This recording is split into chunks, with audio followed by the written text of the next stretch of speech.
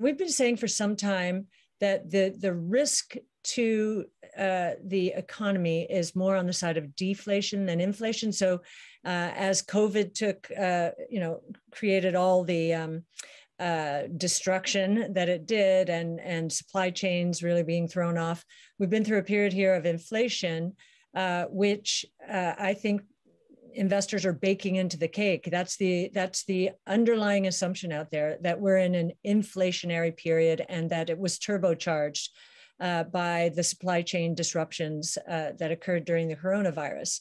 And of course they will they will be focused on monetary policy when they say that um, uh, I am a student of economic history and I've lived quite a bit of it myself. So, seen a lot of markets and started in the business during the 70s. I was in college when inflation was raging.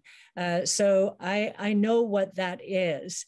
And uh, I truly believe we are not going back there and that anyone uh, planning uh, for it is probably going to be making some mistakes. Uh, so, the three sources of deflation that we see um, to go into a little more detail.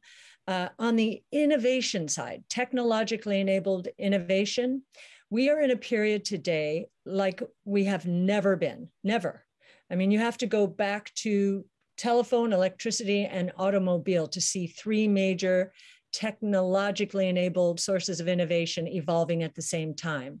Today, we have five, five platforms uh, DNA sequencing, robotics, uh, energy storage, artificial intelligence, and blockchain technology, all of which are deflationary and not just by a little bit either. Jeff Gundlach and ha- Howard Marks, and I think Stan Druckenmiller ha- and um, Ray Dalio, all of them, uh, I think, have been very, very concerned about um, a, a, deflationary bust. And uh, we agree with them uh, in this respect uh, we think it's going to be balanced by uh, a deflationary boom. So that's where we differ. But where we agree is that uh, there are companies who thought the world would never change and uh, have been, uh, again, catering uh, to short term shareholders who wanted that extra penny or two in earnings and so got it uh, uh, by having the companies leverage up and take more debt and shrink the number of shares. Uh, uh, and they've also been um, focused on dividends. Uh, they are probably saddled with uh, products and services that will become obsolete because of the record breaking amount of innovation taking place today. And in order to service their debt, they are going to have to cut prices uh, and move those uh, those goods and services that are on their way out anyway. Uh, so I I am concerned about that, and I think there's going to be a lot of confusion around it as well.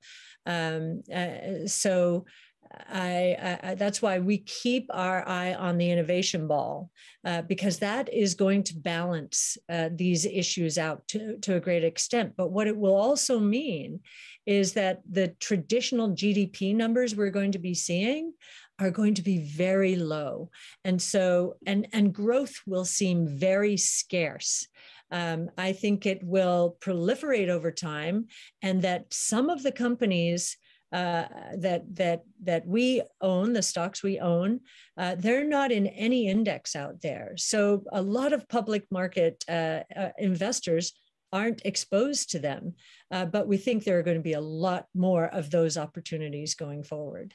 There will be a lot of job displacement. There will be, no question about it.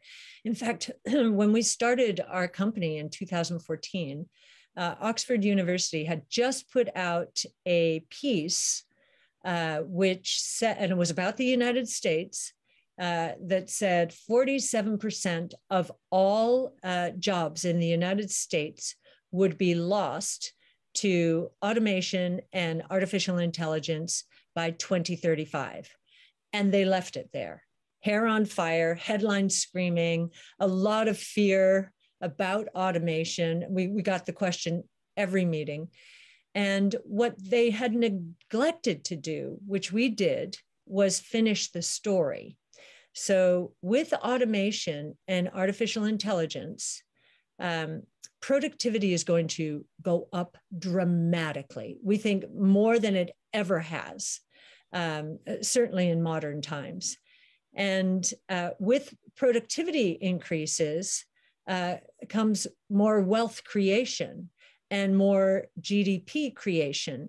Uh, and according to our estimates, in the year 2035, uh, because of automation and artificial intelligence, we believe that GDP here in the United States will not be 28 trillion, which would be a li- if you drew uh, the growth linear growth, that's where it would be.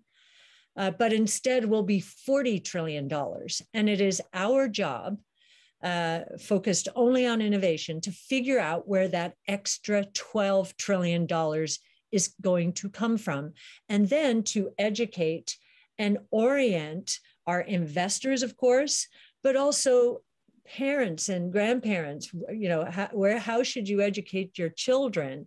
You know how should you steer them so that they are on the right side of change? Because there are going to be so many exciting opportunities